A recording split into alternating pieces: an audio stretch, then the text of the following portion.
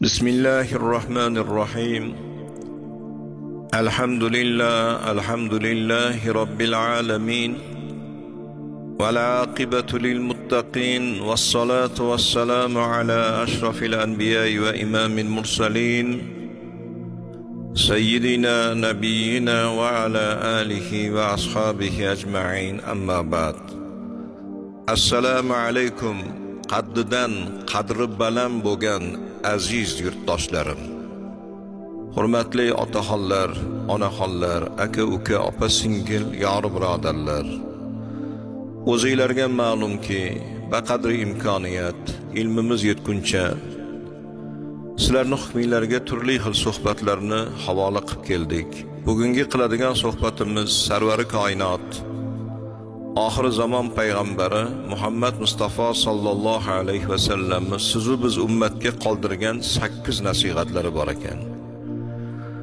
Mana shu nasihatlarni hukmiylarga havola qilishni maqsadga muvofiq deb topdik.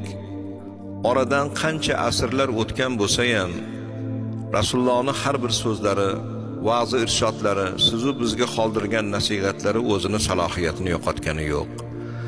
Mana shu sakkiz nasihatni tinglab unga amal qilgan inson borki sakkiz jannatni kaliti qo'limda deb hisoblasin deb bashorat qilingan ekan. Birinchi nasihatlari namozda dilingni pokla degan ekanlar. Savol tug'ilishi mumkin. Dilam qorayadimi? Dilam kirlanadimi? Insonni tanasi kir bo'lishi mumkin. Ustiga kiygan libosi kir bo'lishi mumkin. Bular suv bilan pok bo'ladi. Lekin dilni qorayishi namozda dilni kirlanishi nimadan? O'zinglarga ma'lumki Allohning bayti masjidga kirib kelamiz. Peshonamizni sajdaga qo'yamiz. Avvalo masjidga kirib kelishdan oldin eshikni oldida to'xtab qatga kirib kelayotganliginglarni bir tafakkur qilinglar tadabbur qilinglar.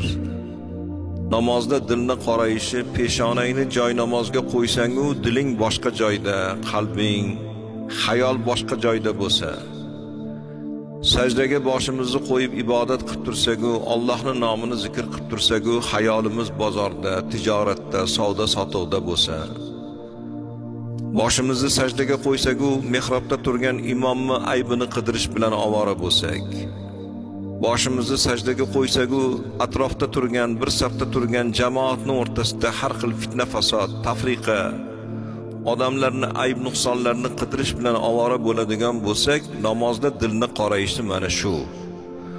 Allohning baytiga kirgandan keyin ibodatda qo'limizni qoqib namozda turganimizda yaratganni dargohida turganligimiz ulug' bir ibodatni ado etayotganligimiz maqsadimiz Allohning rizoligini topish. Duolarimizni yaratganni dargohida ijobat bo'lishini yaratgandan so'rab chiroyli suratda Allohning rizoligi o'qigan namozlarimiz jannatga hujjat bilib bilmay qilgan xatolarimizga kaforat bo'lishini Allohdan so'rab dilimizdan o'tkazib chiroyli suratda Allohning zikrini qilib chiqib ketish maqsadga muvofiq. Tilimizdan chiqayotgan Allohning zikriga dilimiz ham moyil bo'lsin tilimiz ham dilimiz ham pok bo'lsin. Chiroyli suratda ibodat qilaylik. Ya'ni namozda dilni qorayishi hali yuqorida zikr qilingandek hayolimizni har xil tomonlarga bo'linishi nojo'ya harakatlarni qilinishi noto'g'ri fikrlarni qalbimizdan o'tishi bu namozda dilni qorayishi. Ikkinchisi birovni uyiga kirganda ko'zingga ehtiyot bo'lgin degan ekanlar. Ya'ni har xil insonlarni toifasi bor. Xalqqa xizmatda yuramiz eshigimizni taqillatib har xil odamlar keladi. Har xil odamlarni ko'ramiz farosatiga baho beramiz. Bir xil insonlar bor eshiging ochiq bo'lsa hisob hovlini to'rigacha bostirib kiradiganlar bor. Taqillatish yo'q ruxsat so'rash yo'q. Vaholanki xonadonda ayollar bor kelinlar bor inson har xil holatda bo'lishi bor.